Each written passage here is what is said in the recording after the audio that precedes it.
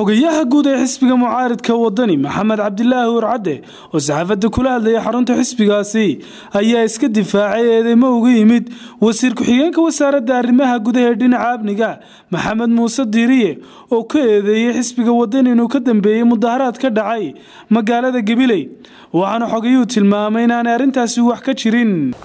Xalay waxaad dhegaysanayseen wasiir dowlaha arrimaha gudaha oo runtii aan mar ahayn lama ahayn xisbiga wadani ku eedeynayey arrin gabiley ka dhacday dad ra'yigooga cabiray magaalada gabiley dhex maray xaqu leh dhibta iyo dhibaatada dadka iyo dalka lagu hayo ka hadlayey ay u xidheen xisbiga ucid sidii ay sheegaysay warbaahintu madax ka mid ah.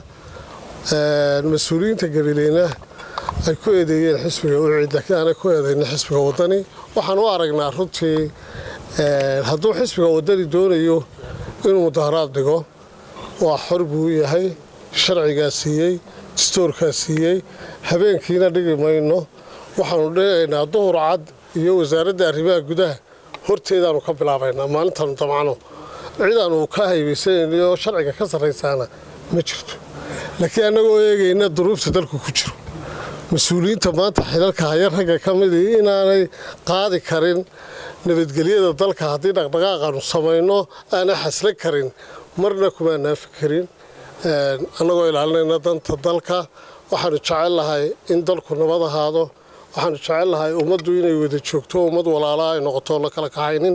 Waxaan uga digaynaa wasiirada af soomaaliga ka bartay xisbi qaran waa soomaali weyn ee maalin walba tv-ga la soo fadhiya wasiirada ka bartay af soomaali inay yidhaahdaan wax walba wadani baa ka dambeeyey. Markay xilkoodii gudan kari waayeen iyo amnigoogii ay ku masabidaan xisbi qaran oo ditaalkiisa iyo wixii awooddiisa ah isagoo ugu awood badan haddana ilaalinaya nabadgelyada kuna qasbaya inuu nabadgelyada ilaaliyo xisbi nabadgelyo ah. Waxaa noo muuqataa wasiiru dowlaha waa ogeydeenoo markii uu joogay udub wuxuu ku eedayn jiray xisbiga kulmiye. Waa garanaysaa soomaali weyn. Al-shabaab waxaasuu ka eedayn jiru tv-ga ka dayn jiray. Haddana wadani baa halkii kuu gala eh laakiin waxaa iman doonta ayaan la xisaabtamo. Annagu waxaanu qabnaa oonu saacad u oranaynaa waxa weeye inay xukuumaddu xilkii ay ku lahayd ay gudan weyday waxna ka qaban weyday taasaanu qabnaa waa horena ay wax ka qaban lahayd. Hadday doonaysa inay wax ka qabato. Laakiin waxaan u arkaynaa xilgudashalaan xukuumadda ka timid inuu dagaalkaas ku socdo. Dhinaca kale xogayaha ayay saxaafaddu ka weydiisay dhacdooyin kala duwan oo la xidhiidha.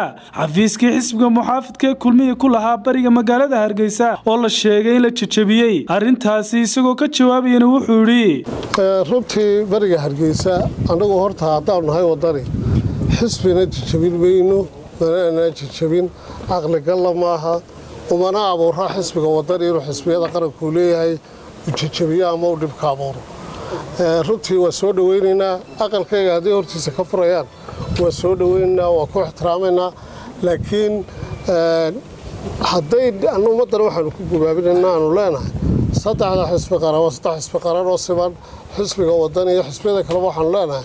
Si wixii ummaddani ay doorasho u gaadho nabadgelyo waa in la ixtiraamaa saddexda xisbiba. Kale xogayuhu wuxuu ka jawaabay hadal ka soo yeedhay wasiirka warshadaha oo la xidhiidhay musharaxnimada madaxweyne ee guddoomiyaha xisbiga mucaaridka wadani cabdiraxmaan ciro isagoo arrintani ka jawaabayana wuxuu yidhi xogayuhu waxaanu aragnaa runtii inay tahay aflagaado iyo dee sharci jebin. Uu qofku wuxuu doono ku hadlaya. Hadda wasiirada maanta joogaa wax alla wixii ay doonaan bay iska oranayaan. Annagu ma oranayno muuse uma qalmo inuu tartamo. Inuu dalka xukumana ma oranayno haddaanu nahay wadani faysal ma oranayno leenahay muwaadin kastoo reer somalilan oo shuruudaha looga baahayay madaxweynaha gaadha wuu la tartami karaa. Aad iyo aad baan uga xunnahay af wasiirna hadduu sidaa yidhi cismaan axmed ismaan star t v hargeysa